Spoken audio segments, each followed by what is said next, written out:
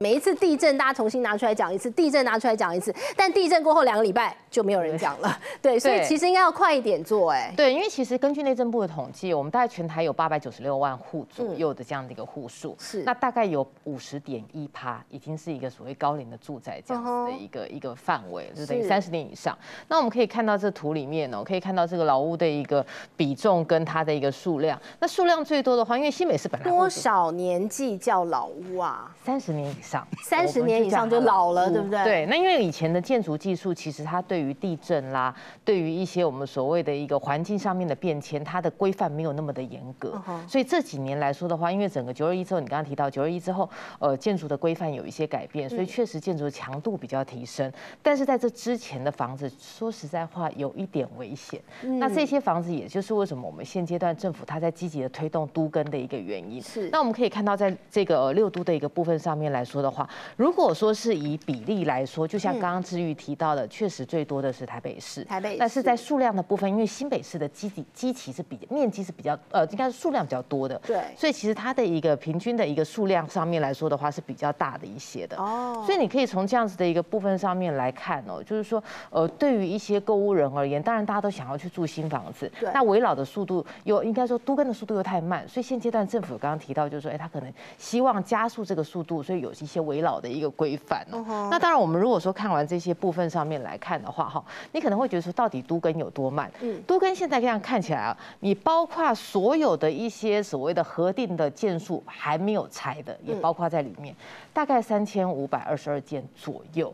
那我把它换算成我们所的所谓的一个住宅户数，住宅户数大概是差不多一年来六千到一万户左右。那你听起来六千到一万户很多啊。对。可是如果要更新啊，就是有学者算过，他说大概要四百年。那四百年的。概念，以我们现在的速度要四百年。对，所以如果以这个速度的话，大概是从明朝天启年间就要开始做都根，才有办法都根的完。是。那所以你就从这样的一个角度上面来看的话，确实是缓不济急的一个一个状态哦。好，好，那那在这个部分上面来看的话，你也可以看到，就是后来我们就是推了都根嘛，那推了也推了围老，因为围老的话，它的条件是说它不限基地的一个面积大小，那旁边要是有一个机车钉子户，哎，它就可以来去做一个直接的一个重建。那当然政府自己有一些动作了。就是说，政府针对他自己本来就有的一些公有的一些，比如说停车场啦、学校啦，或者是说有一些住宅啦，他就自己去跟周边一起参与或自己办。半公半都跟，那因为地主，所以政府现在有在示范性的这个起带头作用，他自己的地就先都跟这样。对，因为哎，你们现在不会演嘛？那不会演，我先演，这个长官先演给你们看，所以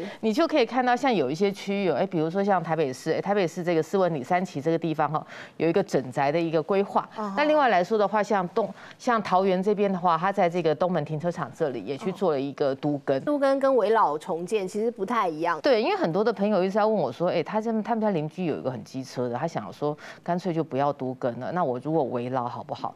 坦白说，围老是真的没有办法都跟，你才会去做的。我们来先来看一下它的一个比较的一个部分。在哪？我们这边有三个东西哦，一个东西叫做围老，一个东西叫做都根，另外一个叫合建。合建简单说就是你们家谈一谈，OK 了，嗯，你就可以就是找一个建商，就是直接盖了。所以即便我的房子没有老到三十年，也可以合建，是只要讲好就行，只要讲好就可以了。那但是如果说围老的话，它有一些条件，比如说它你的这个结构安全要有一个结构安全的基本的评估，它没有到一个标准。那另外来说的话，你的屋龄就是像刚刚志宇问的三十年的这个部分，但它最大好处是它没有面积的限制。然后另外的话，它的一个容积的奖励其实也还不错，就等于到一点三倍。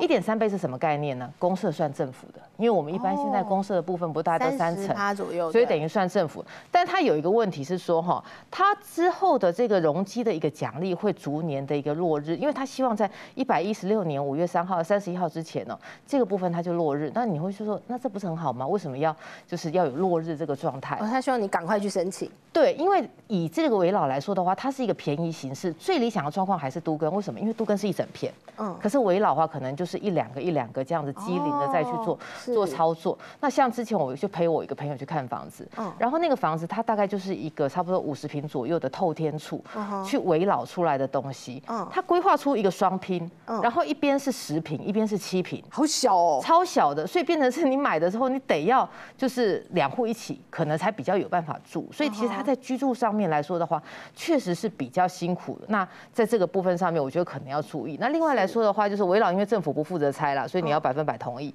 那都跟的一个部分的话，是以多数决，但是其实真的要去做一些所谓的排除的话，是有一些难度的。那另外来说，围绕很受大家喜欢，因为速度很快，所以他开了一个加快的一个通道。那这个我们大家也可以看得出来，是一个所谓围绕跟都跟上面的一个差别。对，那我先问一下长兴哥，长兴哥这个住在台北市大同区，听说你们家附近也有很多围老，对不对？对，围老重建。那围老重建，你看到什么乱象？与其说是乱象哦，就等于是好像不同调了。其实我家大概房子哦比我年纪还大哦，那我也是住公寓，那可能好像七八年前有来谈过，那最近呢，哎。围绕出来又来谈，为什么？因为我家旁边有那种所谓的呃违章建筑，是一楼的，那个它有盖起来之后，如果你要都跟你要跟他谈哦，其实台北是不太跟你谈这个啦。对。那现在就有一个说法，就是说，哎，假设我地比较小的话，哎，可能搞不好一百平、一百五十平就可以盖了。所以大同区也传出什么，可能有三十平的这个建案哦，就开始盖了这个用围绕的方式。所以我觉得其实。也不是不好了，但是是加速这样子都市更新的速度，所以我觉得哦，如果要等到整片两三百平哦，可能不是那么容易，因为大同区的人说实在的哦，好像也都住的习惯习惯的啦，所以说其实哦，我觉得说我们当然是希望住新房子，可是我觉得这样政府的一个利益真的是良好的啦，嗯，所以我觉得其实这样的一个制度应该可以赶快来做推。推。而且其实像昌兴跟你住，比如说大同区啊，或者说你们附近那个万华区，因为它都是台湾早台北市早期开发的区块，所以它的一个容土地的容积都相当的高，像万华的话，它有一些容积到八百。那概念是什么？一瓶可以盖八瓶。那我们一般来说的话，大概就是二二五，住商二二五，你大概一瓶盖二点二五瓶。哦。所以对于他们这些，为什么他们家就可以盖八瓶？因为早期早期他们看地目嘛，看地目。他如果说是商事的话，商事的话就是就是八百。所以如果说像他们早期可能是一个商业区，那它的一个若更新的话，可以盖的就比较高。那这个部分上面来说的话，其实我觉得像昌兴哥刚刚讲这样讲的很有道。我本来想说，哎，你说跟年纪比你比你大蛮多，那我想二十八岁不算为不算 老旧住宅。应该不算啊，没有那么年轻的。那我们其实像刚刚刚刚刚刚哥有提到，就是说哈，呃，在这个昌兴哥有提到，就是说在这个围绕的一个部分，确实基地小基地是一个很大的问题。因为你看哦，比如说它基地最小，哎，就是落在你你家大同区啦。对啊，这个只有三十平哎，这很三十平怎么盖啊？对，三十平就是盖出我刚刚跟你讲的，就是一边可能都是个位数的。我觉得好像只有日本，你去看那个日本才会盖那种瘦瘦小小这样长长条的。是，所以这种问题的话，就是说你未来可能比如说管理维护上面来。来说的话，你会比较花比较多。